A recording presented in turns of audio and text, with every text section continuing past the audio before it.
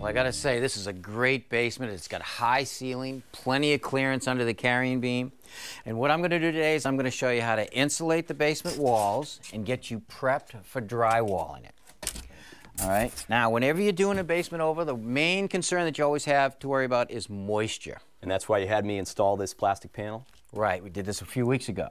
What we're looking for is any condensation that should collect on the plastic. If it collects between the plastic and the foundation, that means the foundation's not sealed. Next thing I look for any condensation that should collect on the surface of the plastic. That's nice and dry. So we're dry, we're all set. Well, we're all set except for one thing. I saw a couple of rust marks right here from these steel ties in the walls. And that tells me that the water might be leaking down. You get any water in this corner of the basement? Yeah, a little bit. Uh, maybe we've got a downspout up here I think that might be need to be redirected. Could be. Well, these concrete ties actually hold the forms when they pour the foundation. When they remove the forms, they have to break off these steel ties. When they do that, they should seal them from the outside to stop water from coming in. Now, you've got a few of them that the water is coming in here. So before we get started, I'm going to show you how to plug these holes from the inside. All right, Brady, take the center punch, put it on that tie, and try to drive it through.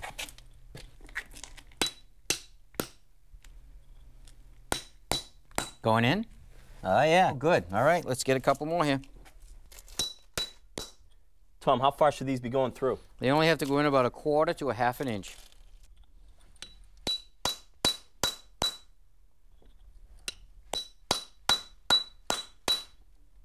Good. To plug the holes, we're going to mix up some hydraulic cement. It's really fine, and it's ideal for this application. I'm going to put it in some water. Now I don't want to mix up too much because it sets up really fast. I only want to put mix up as much as I need. Okay, I'm mixing it up till it's like the consistency of peanut butter.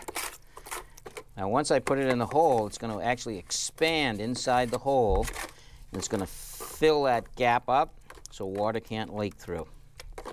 All right, now before I apply the hydraulic cement to the hole, I want you to take that bottle and mist the hole with water. The reason I want you to wet the concrete is I don't want it to take all the water out of my hydraulic cement, so it'll dry evenly. Now I just want to push it in the hole.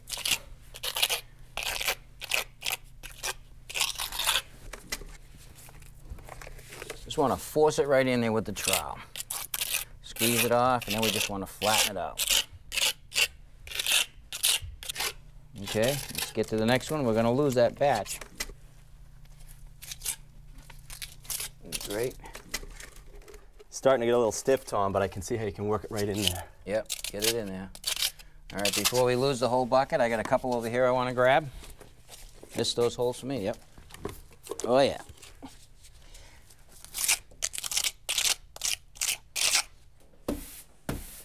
This is what we're going to insulate your foundation with. It's a two foot wide by eight foot high by two inches thick sheet of polystyrene. It has a tongue and groove joint, so when the pieces go together, it'll be nice and tight. And we're going to apply it to your foundation with an adhesive. This is a foam board adhesive. It's going to stick the foam right to the foundation, specifically formulated for this application. Uh, it's very important that you don't have an adhesive with a solvent in it because the solvent would actually deteriorate or eat the foam. Okay, now just tip the top into that space up above, push it into the corner, and hold it against the foundation. Okay, hold it there for a minute, I'll get another sheet. All right, next sheet.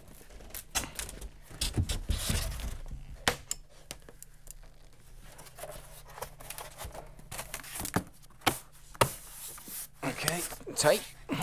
Now we're ready to mark the next piece to go around this carrying beam. So I'm going to lay this piece on top of the last piece that we installed, line it up.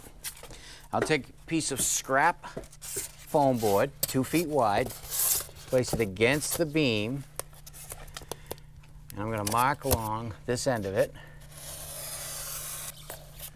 I'm going to take it, bring it down, and line this side up with the outside edge of the beam right here. And I'm going to put a mark right there take my level, go across the bottom of the beam with a level line, and mark between my two marks. Now I'll cut that piece out. This is where the slot needs to be cut for the beam. I have a reference line on each side of the beam. I want to extend those all the way up to the top of the sheet. Just using the end of my tape to cut a groove. Now I'll just cut it out with a handsaw.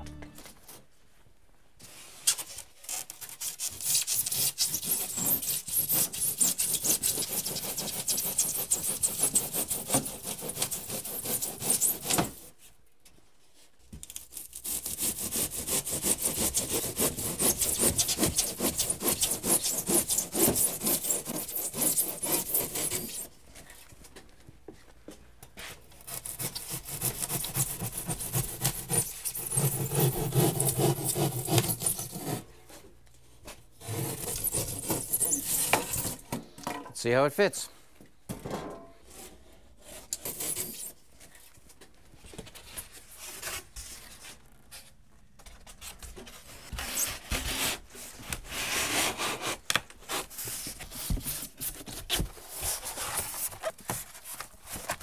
Okay. Yeah, good and tight. Okay, let's get the next one. Okay, there you go. That's pretty good, Tom. About an hour, we got this whole wall up. I told you it was going to go fast. Now we have to think about how you're going to attach your drywall to the wall. And how are we going to do that? We're actually going to make a wood grid system using this 1x3 spruce board. First thing I did is I measured to the top of the foundation over here. And then I measured down about 3 inches, and I put a line over here. I then measured up off the floor about 3 inches and placed another line. Then I divided the space in half and put a center line. I divided the top space in half, put another line, divided the bottom space in half with another line. I got it. So we're going to have five horizontal nailing strips. Right. Next thing we're going to do is we're going to snap some chalk lines all the way across the wall and apply our wood strips.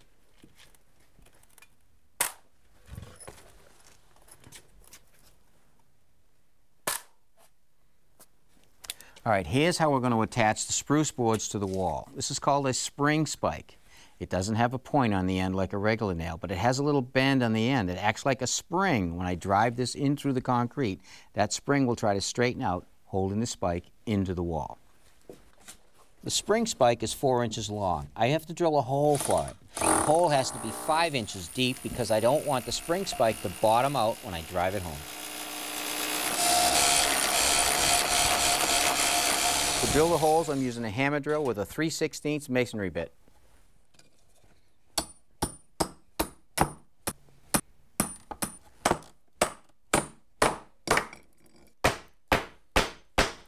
All right, that's great. Now, Brady, you could actually install a wallboard right to the horizontals, but I want to create more depth to accommodate the electrical. To do that, we're going to run more 1 by 3 boards, only this time vertically, right on the surface of the horizontals. And to attach them, I'm going to use drywall screws. Now we're attaching our pieces of 1 by 3 vertically, 16 inches on center, to fasten our wallboard to them. What do you think, Brady? Tom, this looks excellent. Well, now what we have are two chases. We can run a wire down from the ceiling vertically or horizontally behind the uprights. By building the wall out, we've also created more depth in the wall, so now we can use a standard electrical outlet. If we want to mount it here, we dig out a little bit of insulation and then put it in up against the one by. This is fantastic. You got me all set. I'm going to get my brother in here this weekend to help me finish it off. Well, good luck. Thank you very much.